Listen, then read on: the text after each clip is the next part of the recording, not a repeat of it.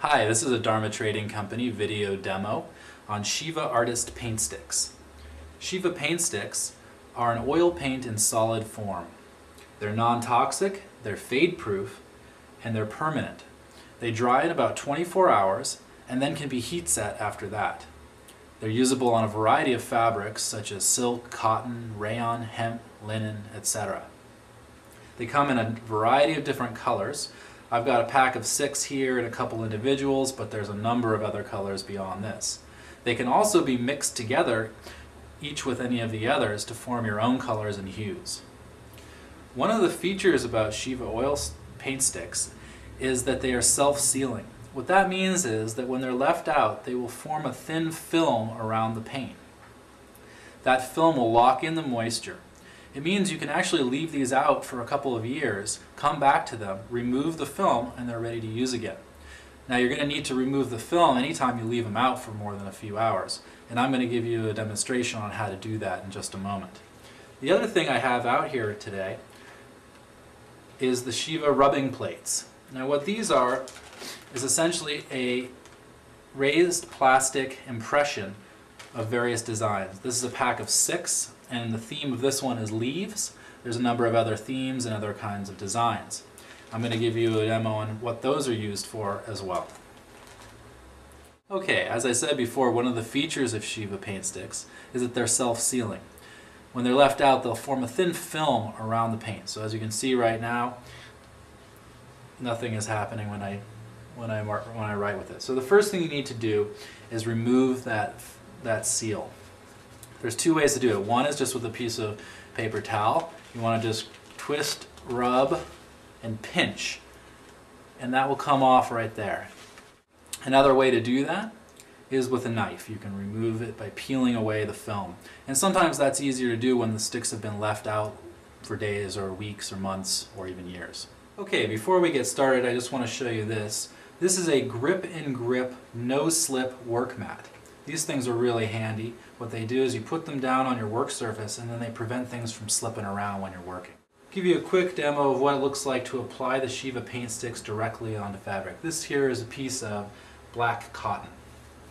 Just lay that out, smooth it out a little bit, take your paint stick and I'm just going to go ahead and start drawing.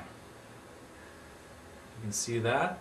You can mix these colors, form all sorts of effects and hues like so.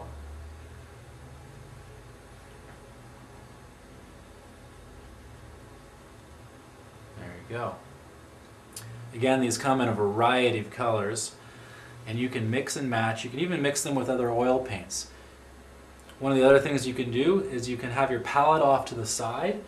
You can mix the colors together on the palette and then use a brush or other applicator to put, bring them and put them onto your fabric. Okay. Okay, the next thing I want to show you is how to use the paint sticks with the rubbing plates. This is a neat trick you can do. These rubbing plates come in packs of six and they basically are pieces of plastic imprinted with raised designs. In this case I'm using a leaf design.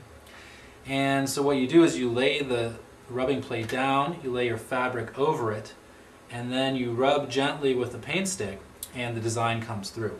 Now I found it to be very helpful when using the rubbing plates to first lay down one of the grip and grip no slip mats. That will hold your rubbing plate in place so it doesn't move. Keeps it tight.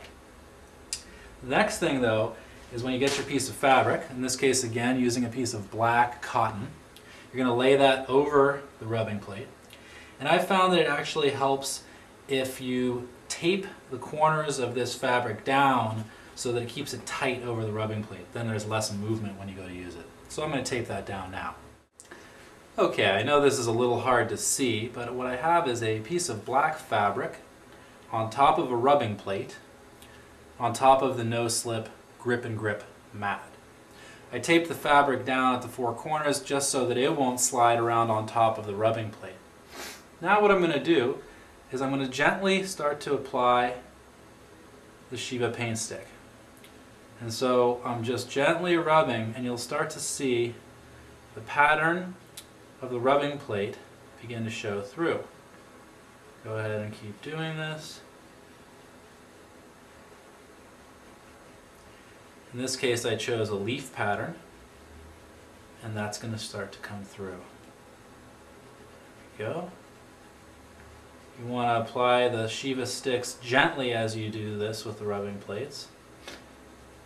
And what happens is wherever the plate is raised, you'll get color, and whether, wherever it's indented, you'll get dark. So this has been a very quick and brief demo on just a couple of the things you can do with the Shiva oil paint sticks. If you're interested in learning more, this is a great book. It's called Paintstiks on Fabric. Simple Techniques, Fantastic Results by Shelley Stokes. Shelley Stokes gives an illustrated guide on just a bunch of different things you can do with paint sticks, how to do it, great ideas and tutorials. Good resource to check out. Another good resource is this DVD. It's called Paintstik Inspirations with Laura Murray.